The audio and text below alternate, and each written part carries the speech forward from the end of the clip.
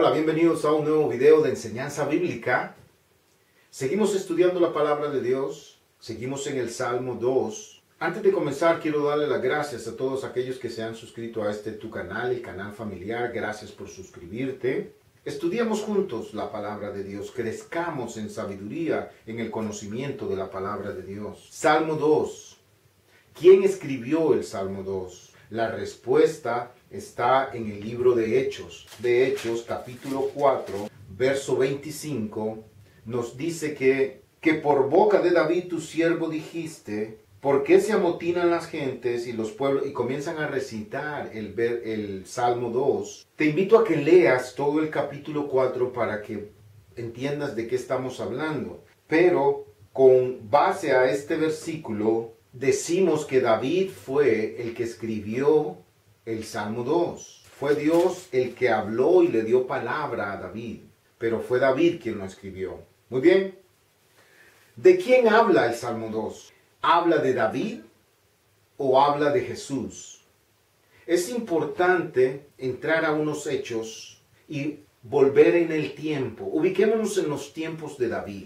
En los tiempos de David, que fueron, que fueron muchos, pero muchos años antes de que Jesús naciera, Hubo un momento en la historia de Israel que el, pueblo de Israel le dijo al profeta Samuel que les diera un rey, querían un rey, como todas las otras naciones.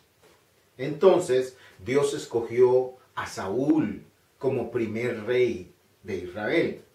El profeta Samuel lo ungió con aceite. Dios escogió a Saúl para ser el primer rey. Con el tiempo, David llegó a ser ungido también para ser rey. Y Samuel ungió a David con aceite para demostrar que era el escogido para ser el rey. Muy bien, entonces leemos en la Biblia que y David inclusive llamó a Saúl el ungido, el ungido de Dios, el escogido de Dios. Y él, al ser ungido después, él también se consideraba el ungido de Dios para ser, para ser rey de David. Ahora, cuando David escribió esto y cuando las personas de los tiempos de David y antes de que Jesús naciera, leían esto, ¿de quién pensaban que el Salmo 2 estaba hablando? Posiblemente las personas de ese tiempo pensaran que el verso, el Salmo 2 hablaba de David, que inclusive el mismo David puede ser, repito, es una sola, es solo una conclusión, puede ser que David pensara que era de él mismo. ¿Por qué? Vamos a los hechos. David fue ungido para ser rey. David tenía muchos enemigos incluso dentro de su propia familia, sus propios hijos llegaron a ser enemigos de él y muchos conspiraban y luchaban contra él, inclusive para matarlo. Los pueblos vecinos, sus propias familias, conspiraban contra él para matarlo. La fe la fe de David estaba puesta en Dios, quien lo defendía y peleaba sus batallas. David existió muchos, pero muchos años antes de que Jesús naciera. Entonces puede ser, puede ser, ¿ok? Vamos al tiempo de Jesús. Nace Jesús y después del nacimiento de Jesús, sus seguidores entendieron que el Salmo 2 hablaba de Jesús ya lo leímos en el, en el libro de los Hechos. Veamos a los hechos de Jesús. Jesús es el ungido por Dios, no por hombre, porque Jesús fue ungido por Dios mismo. Lo vamos a ver más adelante. Jesús es el ungido de Dios para ser rey eterno por siempre y para siempre. David fue ungido por un hombre escogido por Dios, pero ungido por un hombre, para ser rey por un tiempo. Jesús, ungido por Dios mismo, para ser rey soberano y eterno por siempre y para siempre. Jesús es el Hijo engendrado por Dios mismo por medio de su Espíritu en el vientre de la Virgen María. David fue el hijo de un hombre y una mujer. Jesús es el hijo del Espíritu Santo de Dios engendrado en la Virgen María. Jesús es el Hijo de Dios. No fue engendrado por hombre, sino de Dios. Jesús es el Rey eterno por siempre y para siempre. Él es Rey soberano. ¿Cuál es el reino de Jesús? David reinó sobre un reino terrenal, pero Jesús reina sobre un mundo espiritual y sobre todo, toda la creación está bajo sus pies. Jesús es el Rey eterno por siempre y para siempre, y su reino no tendrá fin. Dios cumple la promesa a David que levantaría un rey de su descendencia, que reinaría para siempre, y ese es Jesús. Jesús, desde el punto de vista humano, es descendiente de David. Jesús, desde el punto de vista espiritual es descendiente de Dios. Dios estaba profetizando en el Salmo 2 lo que iba a suceder con su Hijo Jesucristo, lo que las personas iban a hacer con su Hijo Jesucristo. Ok, entonces, con eso en mente, vamos a analizar el Salmo 2, sabiendo que habla de Jesús y no de David.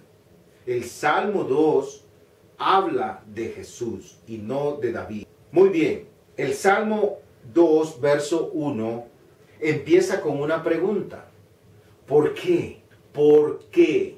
¿Por qué se amotinan las gentes? ¿Por qué los pueblos piensan cosas vanas? ¿Por qué? Empieza con esa pregunta que no es contestada a través del desarrollo del Salmo. Y aún todavía en estos tiempos nos hacemos la misma pregunta. ¿Por qué? ¿Por qué? ¿Por qué la gente se amotina contra Dios y su Hijo escogido? ¿Por qué se amotinan? ¿Por qué se alborotan? ¿Por qué se sublevan? ¿Por qué se rebelan contra Dios? ¿Por qué las gentes, las personas, los pueblos, las naciones se unen para conspirar contra Dios y su Hijo Jesucristo? Hacen planes para pelear contra Dios y traman cosas y crean cosas para pelear contra Dios y su Hijo escogido, para pelear contra la palabra de Dios. Y piensan cosas vanas, inútiles, sin sentido. ¿Por qué decimos que es inútil, sin sentido? Porque pelear contra Dios es una pelea inútil, es una pelea perdida para el hombre. El hombre que pelea contra Dios lleva las de perder. Dios es un Dios poderoso. Es el, el ser creado está peleando contra su creador. El, el, creador que tiene poder para crear, también tiene poder para destruir. Algunas versiones hablan que los pueblos, personas o naciones paganas se confabulan para pelear contra Dios. ¿Qué es un pagano? en la Biblia menciona esa palabra. Un pagano es aquel o aquellos que no creen en Dios, no adoran a Dios, el Dios de la Biblia. Tienen dioses, pero no creen en el Dios de la Biblia o lo tienen como un Dios más entre toda la colección de dioses que tienen. Son personas que no aceptan que Dios es Dios Padre, Dios Hijo y Dios Espíritu Santo. Eso es un pagano. Muy bien. Verso 2 dice que reyes y príncipes. ¿Quiénes son los reyes y príncipes? Son personas de poder. Entonces, en este tiempo podemos ponerlo como presidentes, primer ministro, diputados, magistrados, senadores, representantes, presidentes de palacios municipales e inclusive líderes religiosos, pero que buscan la popularidad y la aprobación del pueblo. Dice el verso 2 que todas estas personas se unirán y consultarán y pelearán y conspirarán contra Jesucristo, el ungido, contra Dios y su Hijo. Vamos al libro de Lucas, capítulo 4, verso 18. Te invito a que lo leas también. Jesús entra a la sinagoga. La sinagoga es el templo, la iglesia. Le dan el libro de los profetas para que lea. Él abre el libro de Isaías y dice, verso 18, Jesús hablando, el Espíritu del Señor está sobre mí, por cuanto me ha ungido para dar buenas nuevas a los pobres. Me ha enviado a sanar a los quebrantados de corazón, a pregonar libertad a los cautivos y dar vista a los ciegos, a poner en libertad a los oprimidos, a predicar el año agradable del Señor. Después de leer esto, Jesús, en sus propias palabras, se dirige a la congregación y dice, hoy se ha cumplido esta escritura delante de vosotros. ¿Qué estaba diciendo Jesús? Jesús estaba diciendo, los profetas hablan de mí. La palabra se ha hecho carne. Yo soy el ungido. Yo soy el Hijo de Dios. Eso es lo que Jesús estaba diciendo. Pero ¿cuál era la misión de Jesús? Eso es lo que no escucharon. Y eso es lo que no las personas desde mucho, desde, desde siempre, no escuchan. ¿Qué vino Jesús a hacer? Él vino a traer paz, a sanar a los enfermos, a libertad, a darle libertad a los que estaban cautivos por espíritus de maldad, de odio, de rencor. Jesús vino a sanar a los enfermos. Jesús vino a, darle paz a los oprimidos. Jesús vino a darle vista a los ciegos. ¿Qué tiene de malo todo eso? Eran cosas buenas. Sin embargo, la gente lo rechazó. ¿Por qué rechazan a Jesús? ¿Por qué pelean contra Jesús? La gente que pelea en contra de Dios y de Jesús, en el verso 3 dice que gritan, rompamos sus ligaduras y echemos de nosotros sus cuerdas, rompamos toda ligadura con Dios, quitémonos sus cadenas, sus cuerdas. ¿Qué son las cadenas y las cuerdas? Las cadenas es lo que ata a una cosa con otra. ¿Qué es lo que nos ata a nosotros, a Dios? ¿Qué son las ligaduras, las cuerdas que la gente no quiere tener?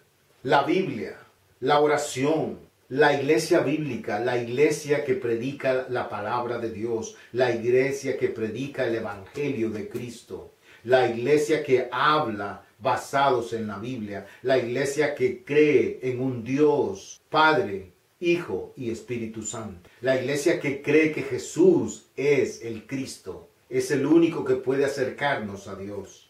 Esa iglesia el mundo la rechaza la cruz de Cristo. No quieren la cruz de Cristo. Hay ligaduras y cuerdas que nos unen a Dios, pero son estas cosas que te dije, la Biblia, la oración, la iglesia, la cruz de Cristo. Es lo que nos une a Dios. Pero la gente grita en contra de todo esto. La gente grita, no queremos la palabra de Dios, no queremos la Biblia en las escuelas, no queremos que se lea la Biblia, no queremos que nos hablen de la palabra de Dios, no queremos que nuestros hijos lean la palabra de Dios, no queremos que los atletas deportivos se pongan de rodillas y oren a Dios. No queremos que un coach deportivo le hable a, los deportistas acerca de la palabra de Dios. No queremos que la palabra de Dios sea predicada en lugares públicos. No queremos que las personas seguidoras de Dios y de Cristo oren en lugares públicos. No queremos gobernadores que tengan a Dios como soberano de ellos. No queremos personas en el gobierno que se sometan a la Biblia. No queremos nada que ver con Dios. Es lo que el mundo está gritando ahora. Es lo que muchas personas están gritando ahora. Les molesta la cruz de Cristo. ¿Por qué les molesta la cruz de Cristo? Hay personas que se unen para decir, quiten esa cruz que está puesta en el camino. No quiero ver esa cruz, me molesta cada vez que manejo y voy a mi trabajo, veo esa cruz y me molesta, quítenla, Quiten ese mural de los diez mandamientos porque me molesta cada vez que voy a ese edificio, me molesta verlo, quítenlo, se unen y, con, y, confabulan y las personas que tienen el poder de decisión, las personas en el gobierno, se unen a ellos para conspirar y terminan quitando el mural, terminan quitando la cruz, terminan quitando la Biblia de las escuelas, terminan prohibiendo la lectura bíblica en las escuelas terminan inclusive prohibiendo a aquellos seguidores de Cristo que hablen de Cristo en público. Es lo que está sucediendo en estos tiempos. ¿De qué lado estás tú? Hay personas que se sienten incómodas todo esto. La pregunta es ¿por qué? ¿Por qué están peleando contra Dios y su Hijo Jesucristo cuando Dios lo único que trae es paz, amor, perdón, salvación, y vida eterna. Les molesta porque Dios les dice, yo quiero ser tu Dios, tu Rey eterno. Y ellos dicen, yo no necesito un rey, yo no necesito un Dios, yo no, yo no necesito que alguien me diga lo que es bueno y lo que es malo. Yo quiero decidir por mi propia cuenta lo que es bueno y lo que es malo.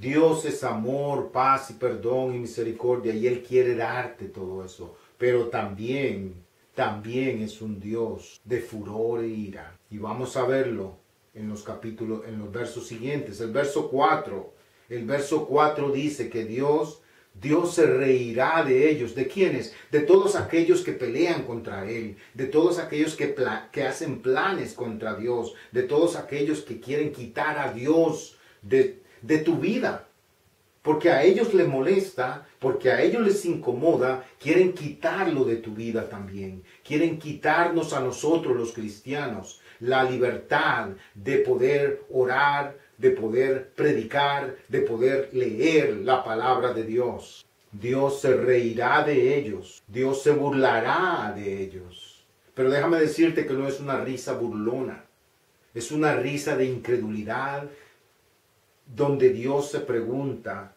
¿creen que pueden vencerme?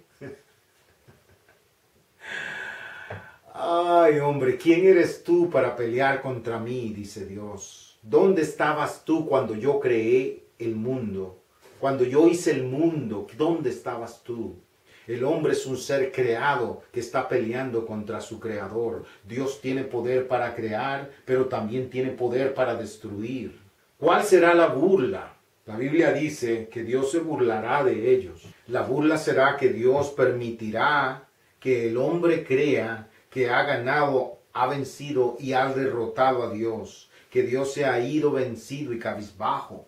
Dios le hará creer al hombre que la Biblia ya no se lee más. Dios le hará creer al hombre que ha vencido y ha quitado la Biblia de todos los lugares. Dios le hará creer al hombre que la palabra de Dios ya no se predica porque ha sido prohibida por los hombres de poder. Dios le hará creer al hombre que ya no se habla más de su Hijo Jesucristo porque ha sido prohibido hablar y predicar el nombre de Cristo. Pero todo esto será solo por un tiempo. Pero el verso 5 nos advierte de lo que vendrá después de ese tiempo. El verso 5 nos dice, Luego Dios desatará su furor y los turbará con su ira. Dios les hará temblar con su enojo, su ira y su furia. Dos palabras muy fuertes, furor e ira, enojo, furia. Ese es un Dios que las personas no les gusta predicar, pero es parte del Evangelio. No puedo predicar el Evangelio escogiendo solamente las partes que les gusta a las personas escuchar. Tengo que predicar el Evangelio como está escrito en la Biblia. Y el Evangelio me dice que habrá un tiempo en que Dios desatará su enojo, su furia y su ira contra aquellos que rechazan a Jesucristo.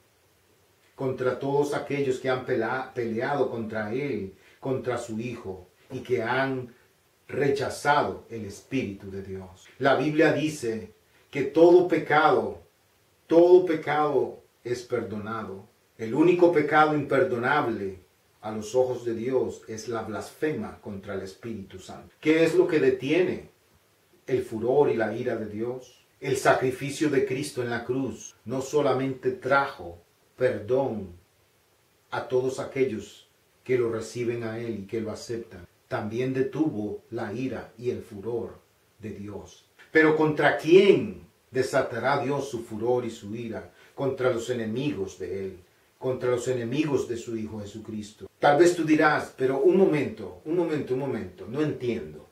Ustedes los cristianos predican que Dios es amor, que Dios es perdón, que Cristo murió por todo el mundo para perdonar los pecados de todo el mundo.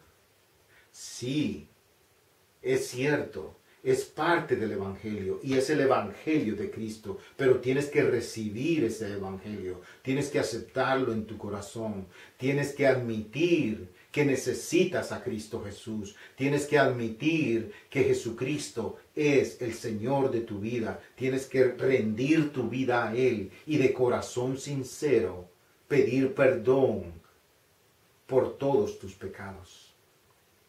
El problema es que muchos dicen, yo no necesito, yo no soy un pecador, yo soy buena gente, yo ayudo a las personas, ayudo aquí, ayudo allá, doy el diezmo, arreglo aquí, ayudo allá, tengo tanto dinero que le ayudo a los pobres, y, eh, pero me estás hablando de obras, estás hablando que estás ganándote el cielo, estás ganándote el perdón. Nadie puede ganarse la gracia de Dios porque es dada por gracia, es gratis pero tienes que aceptarlo y recibirlo con corazón humilde y sincero y aceptar que Jesucristo es el Hijo de Dios. Verso 6 nos dice que Dios ha puesto a Jesús como su rey, lo quiera o no el hombre, Dios ha dicho que Jesús es el rey soberano de toda la tierra para reinar por los siglos de los siglos. Y eso lo podemos ver en el verso 7. Dice que Jehová ha publicado el decreto. Jehová ha publicado el decreto. Le ha puesto su sello, le ha puesto su firma. Ese decreto es irrevocable. No necesita ser aprobado por ningún hombre. Dios ha declarado y ha firmado el decreto que Jesús es su Hijo. Dios ha dicho, Jesús, tú eres mi Hijo amado yo te engendré hoy. Vamos al libro de Marcos. Dice, aconteció en aquellos días que Jesús vino de Nazaret de Galilea y fue bautizado por Juan en el Jordán. Y luego, cuando subía Jesús del agua, vio abrirse los cielos y al Espíritu como paloma que descendía sobre él. Y una voz de los cielos dijo, Tú eres mi Hijo amado, en ti tengo complacencia. Tú eres mi Hijo amado, dijo una voz de los cielos. Y vamos al libro de Mateo, Mateo, Mateo 1, dice, y pensando él en esto, he aquí un ángel del Señor le apareció en sueños y le dijo, José, hijo de David, no temas recibir a María, tu mujer, porque lo que en ella hay es engendrado del Espíritu y dará a luz un hijo y llamará su nombre Jesús, porque él salvará a su pueblo de sus pecados. No temas, le dijo el ángel a José, recibir a María en tu casa como tu mujer, porque el hijo que ella lleva ha sido engendrado por el Espíritu de Dios. Es hijo de Dios. En el libro de Lucas, Lucas 1, versos del 26 en adelante, dice, al sexto mes el ángel Gabriel fue enviado por Dios a una ciudad de Galilea llamada Nazaret, a una virgen desposada con un varón que se llamaba José, de la casa de David, y el nombre de la virgen era María. Y entrando el ángel en donde ella estaba, dijo, Salve muy favorecida el Señor es contigo, bendita tú entre las mujeres. Mas ella, cuando le vio, se turbó por sus palabras y pensaba, ¿qué manera de saludar sería esta? Entonces el ángel le dijo, María, no temas porque has hallado gracia delante de Dios. Y ahora concebirás en tu vientre y darás a luz un hijo y llamarás su nombre Jesús. Este será grande y será llamado Hijo del Altísimo. Y el Señor Dios le dará el trono de David, su padre, y reinará sobre la casa de Jacob para siempre, y su reino no tendrá fin.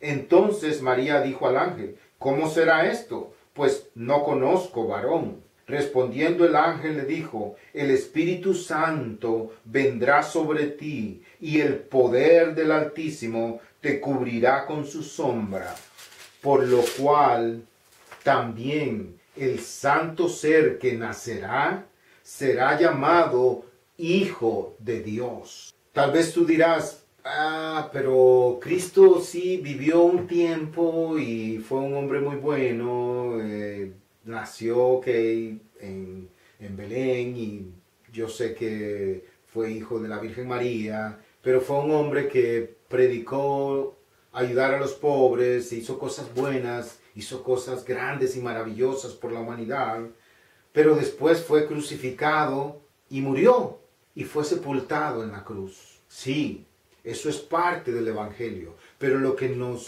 lo que fundamenta, la base fundamental de nuestra fe es que Dios con su poder resucitó a su Hijo de entre los muertos. Jesús, el hombre de carne y hueso, fue crucificado, murió y fue puesto en una tumba. Pero Jesús, el Hijo de Dios, fue levantado y fue resucitado en un nuevo cuerpo. Y ahora está sentado a la diestra del Padre. Esa es la base de nuestra fe. Vamos al libro de Hechos, Hechos 13. Hechos 13, versos 33 dice, la cual Dios ha cumplido a los hijos de ellos, a nosotros, resucitando a Jesús, como está escrito también en el Salmo segundo, mi hijo eres tú, yo te he engendrado hoy. El Espíritu de Dios tiene el poder para engendrar en un bien, vientre virgen también tiene poder para levantar de la tumba a un muerto. Vamos al libro de Romanos 1.4. Leamos desde el 3. Dice, acerca de su Hijo, nuestro Señor Jesucristo, que era del linaje de David según la carne, que fue declarado Hijo de Dios con poder, según el Espíritu de Santidad, por la resurrección de entre los muertos. Vamos al libro de Hebreos, verso 5, nos habla de Jesús. Porque a cuál de los ángeles dijo Dios jamás, mi hijo eres tú, yo te he engendrado hoy. Y otra vez, yo seré a él padre y él me será a mí hijo. Y otra vez cuando introduce al primogénito en el mundo dice, adórenle todos los ángeles de Dios. Y en el verso 13 dice, pues a cuál de los ángeles dijo Dios jamás, siéntate a mi diestra hasta que ponga a tus enemigos por estrado de tus pies? Solamente a Cristo, a su Hijo, le dijo, siéntate a mi diestra mientras pongo a tus enemigos como estrado de tus pies. Ese mientras es lo que te expliqué anteriormente. Vendrá el tiempo en que Dios enviará a su Hijo con poder y vamos al verso 8. Dios le dice a Jesús que herencia y posesión, pídeme, le dice, yo te daré por herencia y posesión todas las naciones. Todo lo que existe te lo daré a ti. Dios lo había establecido desde el principio de la creación, que todo lo creado era para su Hijo. Vamos al libro de Juan 1.3. Todas las cosas por Él fueron hechas y sin Él nada de lo que ha sido ha hecho. Todo lo creado fue creado por Él y para Él fue creado. Dios le dijo, todo esto es tuyo. En el verso 9 dice que los quebrantará a todos sus enemigos, los quebrantará y los desmenuzará como vasija de barro, con vara de hierro, y entonces les mostrará su poder, su furor y su ira. ¿Recuerdas cuando Jesús fue al templo y vio lo que los mercaderes hacían en el templo de, de su padre. Jesús se enojó y entró enojado y comenzó a voltear las mesas y comenzó a regañarlos y comenzó con ira y enojo. Ese es el Jesús que muchos no quieren predicar, pero es parte del Evangelio. Es parte del Evangelio. Jesús gobernará y desatará su furor y su ira contra sus enemigos, pero vendrá por su pueblo, recogerá a todos aquellos que han creído en Él, que han permanecido en Él, que han tratado de vivir una vida agradable a sus ojos. No perfectos, porque no, no se alcanza la perfección en esta carne, pero que han seguido confiando y puesto su confianza en Él.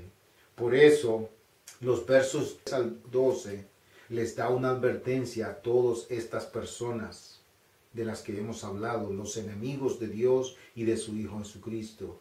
Les dice consejo a los gobernantes, a los presidentes, a los reyes, a los gobernadores, a los primeros ministros, a los señores diputados, a los señores senadores, a los jueces de esta tierra. La Biblia les dice, sean prudentes, gobiernen con prudencia, sean prudentes en su liderazgo. Tú que estás en liderazgo, tal vez dentro de una organización cristiana o religiosa, sé prudente sé prudente y acepta amonestación de la Biblia, acepta la palabra de Dios.